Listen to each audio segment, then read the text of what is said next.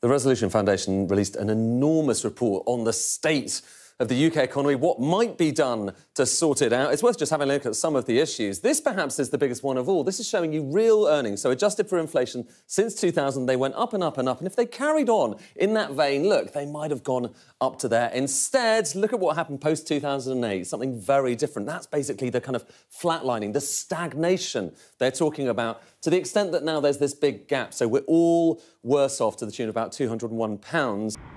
Households are now almost 10% poorer than neighbouring France. Low income families are 27% poorer. This Parliament is on track to be the first in modern history where living standards in this country have actually contracted. Errol Graham starved to death in his own home. When his body was found, he weighed just four and a half stone. Errol was a grandfather. He was disabled and suffered from severe mental ill health. He lived alone in his flat but at the time of his death, he had no hot water, no heating, and no income for food and utilities. Look at the gap between rich and poor. So this is something called the Gini coefficient. It's a measure of income inequality. And you can see the UK, the higher these bars are, the more unequal. The UK is much more unequal than many other countries uh, around Europe, particularly Northern Europe, uh, particularly the Nordics. Here, inequality is more acute than other countries. Investment is vanishing, job security is vanishing, and all the while, taxes are going up. Now, over the last 13 years, we may have become a little desensitised to findings like this. But these aren't the concerns of the past. This isn't living standards rising too slowly, or unequal contractions and concentrations of wealth and opportunity. This is Britain going backwards. This government is playing divide and rule.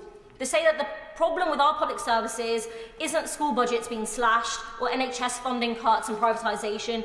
Instead, they tell the British public that their problem is the migrant next door or the disabled person down the road. The attempt is the same to distract and divide, even if that means punishing the poor and the vulnerable, heaping misery upon misery. This is showing you wealth going up over the years, so it goes higher and higher, higher. Now look at wealth taxes, so the amount we tax wealth, and that has basically been flat. And their implication, at least, is that maybe you need to tax wealth a little bit more. It's just one of many suggestions they have in this report.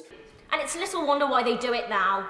As the Office for Budget Responsibility makes clear, Britain faces the biggest hit to living standards since records began, and the outlook is set to get worse, with the OBR highlighting that this autumn statement bakes in a new round of austerity cuts, with the real value of government de departmental spending set to be slashed by nearly £20 billion by 2028. Is Britain in trouble? Well, yes, Britain is in trouble. We've been living through a phase of relative decline, what we call economic stagnation now. If you combine low growth that we've had for the last 15 years with the high inequality we've had for 40 years, then I'm afraid, yeah, it is a toxic combination for lower middle income households in particular. Behind these cuts, behind the demonisation of the poor and the marginalised, is a myth that pervades our politics. The myth that there isn't enough to go around, and it's true, Madam Deputy Speaker, that there isn't enough to go around for ordinary people. Our constituents know that too well. Millions of people struggling to make ends meet, more than 14 million people living below the poverty line, including more than 4 million children. And last year, the Joseph Rowntree Foundation found that 3.8 million people experienced destitution, and that's defined as severe poverty, where people cannot afford basic needs.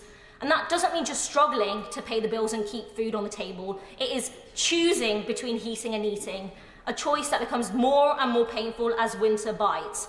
So while the majority of people are struggling to make ends meet, it's simply a myth that there isn't enough to go around because last year, for example, the wealth of Britain's billionaires grew by more than 30 billion pounds, up to nearly 700 billion pounds. I'm going to break that down. That's 7 followed by 11 zeros. Click here for James Cleverly's five point plan and Yvette Cooper's response.